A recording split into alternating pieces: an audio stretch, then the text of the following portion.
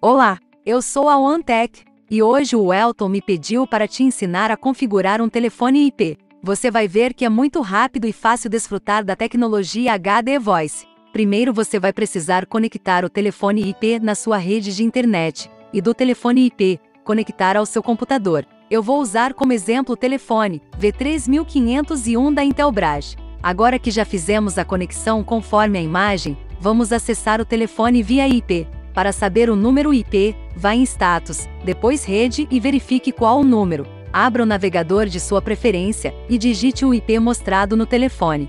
Digite o usuário admin e a senha também admin. Primeiro aqui vai uma dica. Altere a senha padrão para uma senha de sua preferência, para evitar acessos não autorizados ao sistema.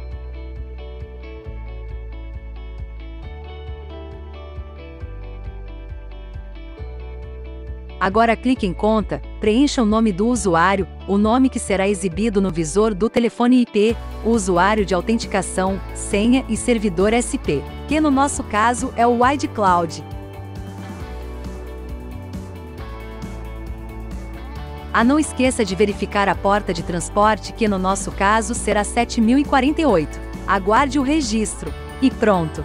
Viu como é fácil? Aproveita e se inscreve aqui no nosso canal, ative o sininho para não perder nenhum conteúdo e curte. Dá muito like pra gente. Considere ainda ser membro do nosso canal. Assim você motiva a gente a continuar nosso trabalho que é trazer conhecimento a você. Vem ser Tech também. Até mais!